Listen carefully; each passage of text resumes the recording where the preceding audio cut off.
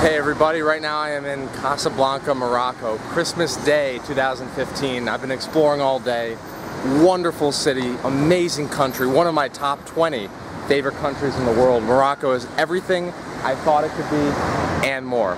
Quick tip of the day, I want to encourage you when you're traveling the world to not necessarily believe what other people say about other countries. Aldous Huxley said to travel is to discover that everyone is wrong about other countries. Tomorrow morning I'm going to Marrakesh. Here I am at a busy intersection in Marrakesh, Morocco, Friday evening, December 26, 2015. People going home from work. And I'm on my way to the markets in the Medinas, do a little negotiation, go from there.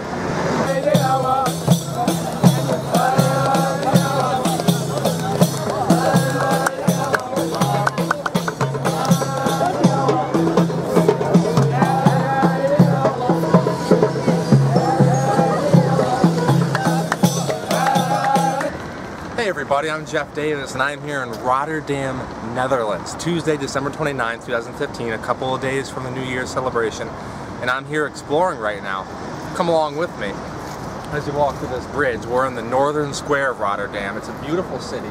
It's actually uh, one of the hidden gems of the world. Is that travel is a lot less expensive than you may initially think.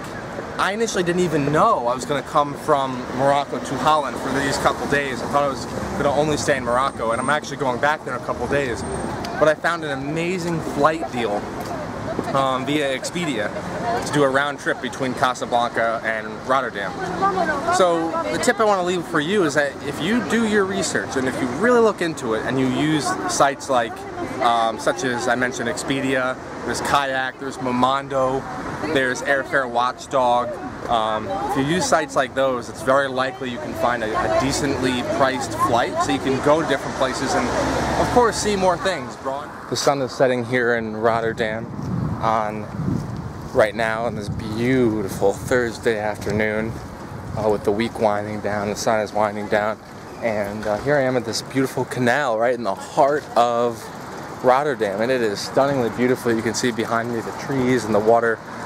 I just want to tell you I love Holland. It's one of my top uh, 20 favorite countries in the world.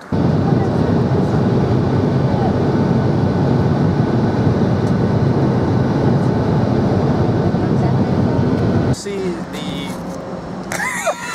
Stop